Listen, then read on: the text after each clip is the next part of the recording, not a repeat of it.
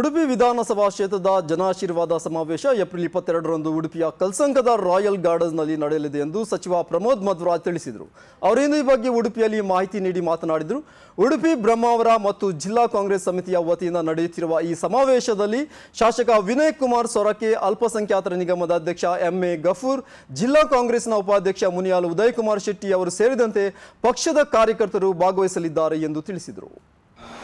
ಎರಡನೇ ತಾರೀಕು ಮಧ್ಯಾಹ್ನ ಎರಡೂವರೆ ಗಂಟೆಗೆ ಸರಿಯಾಗಿ ಉಡುಪಿ ಕಲ್ಸಂಕದ ಬಳಿ ಇರುವಂಥ ರಾಯಲ್ ಗಾರ್ಡನ್ ಮೈದಾನದಲ್ಲಿ ಉಡುಪಿ ವಿಧಾನಸಭಾ ಕ್ಷೇತ್ರದ ಮಟ್ಟಿನ ಉಡುಪಿ ಬ್ಲಾಕ್ ಕಾಂಗ್ರೆಸ್ ಸಮಿತಿ ಮತ್ತು ಬ್ರಹ್ಮಾವರ ಬ್ಲಾಕ್ ಕಾಂಗ್ರೆಸ್ ಸಮಿತಿ ಮತ್ತು ಜಿಲ್ಲಾ ಕಾಂಗ್ರೆಸ್ ಸಮಿತಿಯ ಜಂಟಿ ಆಶ್ರಯದಲ್ಲಿ ಬೃಹತ್ ಜನಾಶೀರ್ವಾದ ಸಮಾವೇಶವನ್ನು ಕಾಂಗ್ರೆಸ್ ಪಕ್ಷದ ವತಿಯಿಂದ ವ್ಯವಸ್ಥೆ ಮಾಡಲಾಗಿದೆ. ಈ ಸಮಾವೇಶದಲ್ಲಿ ನಮ್ಮ ಮಾಜಿ ಮಂತ್ರಿಗಳು ಶ್ರೀಮಾನ್ ವಿನಯ್ ಕುಮಾರ್ ಸೊರ್ಕೆ, ಅಲ್ಪಸಂಖ್ಯಾತರ ನಿಗಮದ ಅಧ್ಯಕ್ಷರಾದಂಥ ಎಂ ಎ ಗಫೂರ್ ಅವರು, ವಿಶೇಷವಾಗಿ ಜಿಲ್ಲಾ ಕಾಂಗ್ರೆಸ್ಸಿನ ಉಪಾಧ್ಯಕ್ಷರಾದಂಥ ಉದಯ್ ಕುಮಾರ್ ಶೆಟ್ಟಿ ಅವರು ಮುನಿಯಾಲ್ ಇವರೆಲ್ಲರೂ ಮತ್ತು ಪಕ್ಷದ ಮುಖಂಡರುಗಳು ಈ ಸಮಾವೇಶದಲ್ಲಿ ಭಾಗವಹಿಸ್ತಿದ್ದಾರೆ.